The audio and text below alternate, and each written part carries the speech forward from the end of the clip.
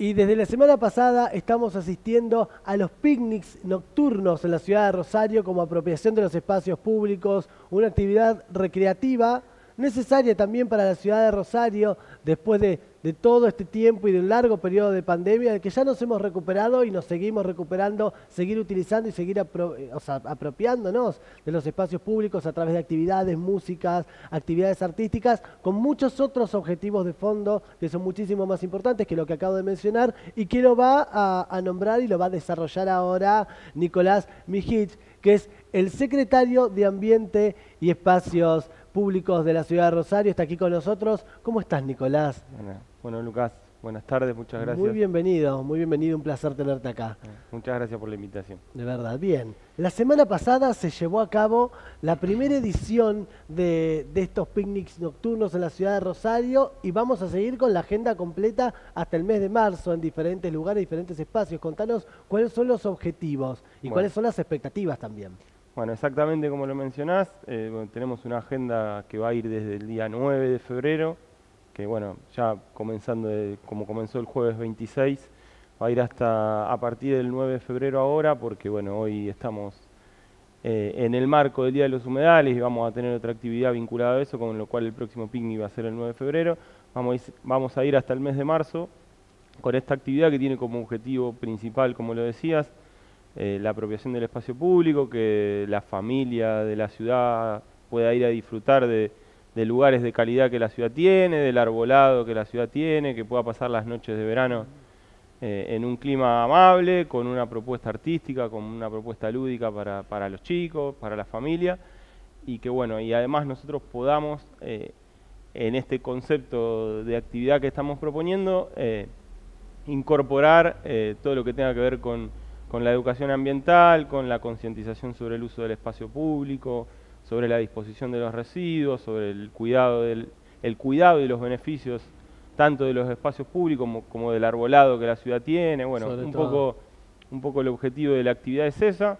Eh, desde ya hay personas que habitualmente realizan esta actividad. Lo que estamos haciendo desde el municipio es de alguna manera sinergizar esto eh, con alguna propuesta y también invitar a la gente que habitualmente no concurre al parque a hacer esta actividad, bueno, que lo pueda hacer y que además pueda quedarse y usarlo durante, durante días, eh, teniendo en cuenta que, como te decía, tenemos espacios de calidad muy buenos, con muy buen arbolado, con, un ambiente muy amable, así que bueno, un poco esa es la propuesta.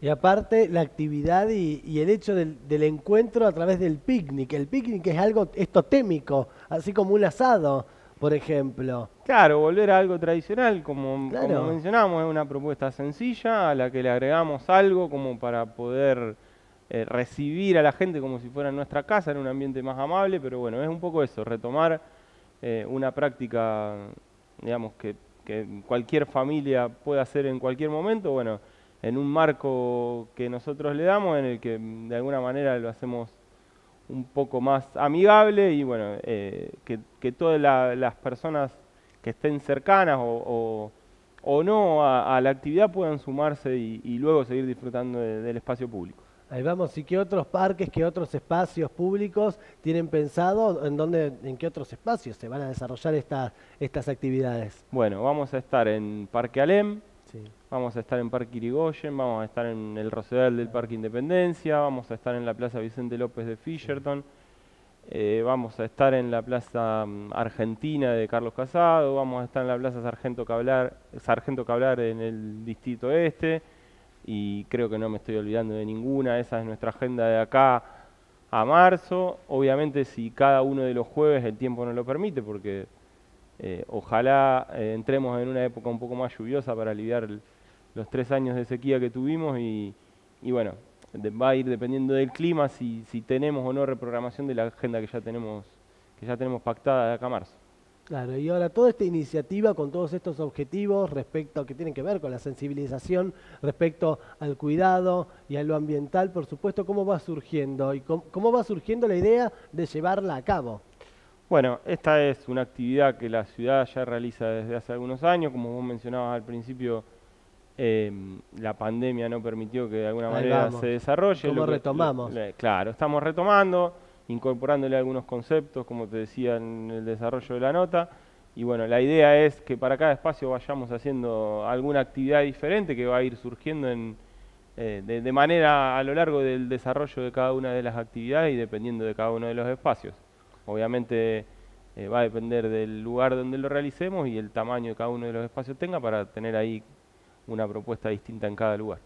Ahora, la cuestión ambiental, que es crucial, ya que estamos haciendo uso de los espacios públicos, muchas veces cuando se hacen estas actividades, em, o actividades de este tipo de cualquier otra índole, por ejemplo, no sé, o recitales, cualquier otro tipo de eventos que son tan masivos y que va mucha gente, como fue la semana pasada y va a seguir yendo, siempre em, quedan los residuos después. Si bien hay mucha gente que es consciente y que ubica los residuos donde corresponden, los diferentes containers eh, que hay en los diferentes espacios públicos, en las calles, hay mucha gente que, que no lo hace y termina, termina toda la fiesta, la celebración, la actividad y quedan muchos de los espacios que si bien hay gente que luego se encarga del municipio, que luego se encarga de hacer su trabajo y hace su tarea de recolección, siempre queda un basural muchas veces hecho en el En, general en este tipo de actividades, eh, por la experiencia que tenemos, no, hemos tenido ese inconveniente, la gente que va tiene la conciencia y, y tiene de alguna manera el concepto incorporado,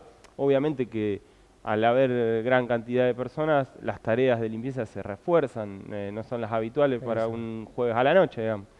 Pero, mm, eh, pero no, no tenemos inconveniente respecto de los residuos y además en cada una de las actividades vamos a tener promotores que van a estar concientizando sobre el uso del espacio público, sobre la correcta disposición de los, de los residuos.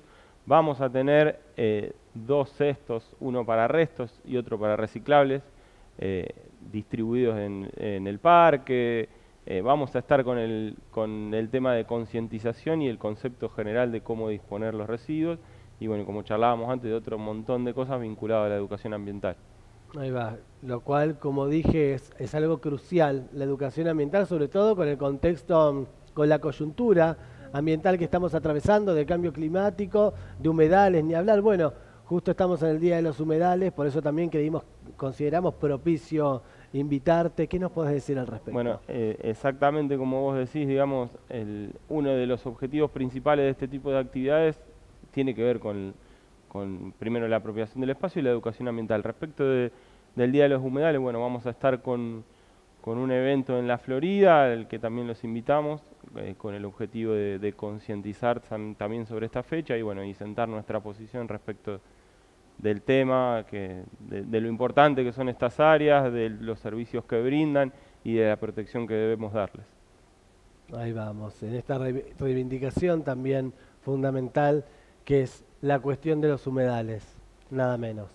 Exactamente, bueno, y con, y con todo lo que la ciudad ha sufrido en, en el último tiempo respecto de esto, bueno, también eh, un poco el objetivo va a ser ese y, y tener, tener conciencia de, como te decía antes, cuál es el, servicio ambiental y, lo necesario que son estos, estos espacios y cómo debemos cuidarlos para, para paliar los efectos del cambio climático que estamos viviendo. Muy bien, entonces nos vamos a ver la próxima semana en donde es el... la próxima semana va, va, a ser en el Parque Alem en el mismo horario. En el mismo horario, en el Parque Alem y así continuamos duro y parejo hasta marzo, disfrutando de estos espacios públicos, de estos parques tan bellos, tan encantadores, tan extraordinarios que tiene la ciudad de Rosario. Sí, valoremos lo que tenemos, tenemos un patrimonio en espacio público muy importante que ninguna ciudad de la Argentina tiene. De la misma manera, bueno, sentimos que lo tenemos con el arbolado de la ciudad, así que eh, también valoricemos y, conozcamos cuál es el beneficio de, de tenerlos. Eso, y cuidémoslos sobre todo. Cuidemos, cuidemos estos espacios que son tan nuestros. Exactamente. Bueno, gracias, Lucas. Muchísimas, muchísimas gracias de verdad, Nicolás. Muchas gracias por haber venido y ahí nos vemos la semana que viene en el Parque Alem. Y nosotros nos vemos muchísimo más en breve en el próximo bloque de Somos Seco.